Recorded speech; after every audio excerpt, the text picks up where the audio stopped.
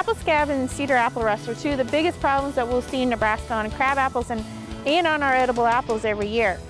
We see the major problems developing in the spring with leaf spots and premature defoliation in the fall. But the big thing with both of these diseases is management and timing of those managements, and that's what we're gonna kind of go through today and what the diseases look like. Right behind me is a crab apple that has experienced severe defoliation due to apple scab. This tree right now, this is the third week of September and it's completely defoliated out. If we're looking at a resistant crab apple tree, the leaves are still on it and is able to withstand the disease a lot better. If we look at apple scab, we're going to see little black spots on the leaves. And then when they first start, they're very feathery in outer appearance, and it will eventually become larger and coalesce. And as these coalesce, you're going to have the leaf material to drop off, and you're going to end up with holes in your leaves eventually.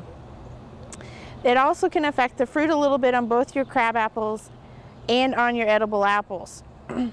when we look at management for apple scab or even cedar apple rust, we're going to be looking at Sanitation is the big key for it.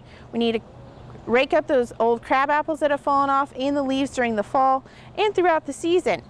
If you're going to be redesigning your landscape and putting new plants in, using resistant varieties of crab apples and apples in your landscape is the best way to manage these diseases. The resistant varieties are able to handle the disease a lot more and they're able to keep their foliage on way into the fall when we want those nice beautiful colors. Another option to manage apple scab is fungicide applications. And these applications are going to be made early in the spring. We're going to be looking at mid-April to early May, just as the foliage is starting to bud break out. We're going to be making those applications 14 to 21 days depending on the product that you're using. So you need to read those labels very carefully. The number of applications you're going to have to do in the spring will also depend on what is the weather going to be. If it's really going to be a wet spring, you may have to make several applications to protect that foliage and the fruit that will later be developing on those plants. So please watch and read those labels very carefully to know what you need to be doing with your products. Cedar apple rust can cause major problems on our edible apples and cause some defoliation and it can affect our fruit overall. Cedar apple rust is going to be moving in early in the spring and it's actually going to be coming, the spores are going to be coming from junipers and from our cedar trees that produce these galls and telial horns, these orange masses in the early spring when it's wet. And those spores are going to travel to our apple trees and crab apple trees and infect them. This is the only stage where the apples will be infected by the disease. So early management is critical in controlling this disease. When it moves into the apples, we're going to start off with small red to orange lesions that appear on the leaf tissue.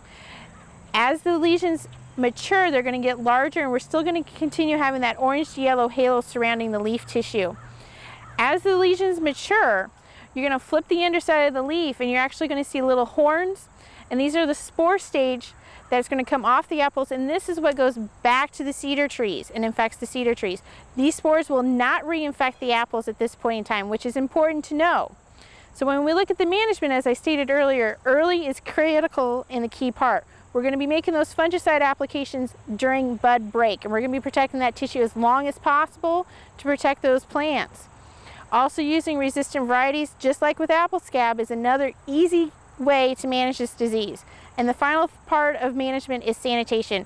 Cleaning up the apples and the foliage in the fall and even during midsummer will help reduce the amount of disease that you'll see from year to year on these, on these trees.